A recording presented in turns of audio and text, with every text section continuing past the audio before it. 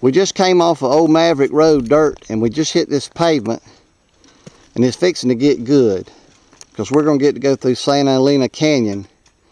Castolon to the left, Canyon to the right. If you see that canyon, I have flown through that canyon many times. And we're going to go down through here. So it just got back to pavement and it's going to get good. More to follow.